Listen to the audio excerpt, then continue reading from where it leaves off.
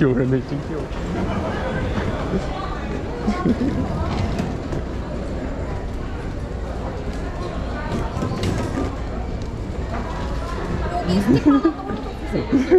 谁的贴纸已经掉了？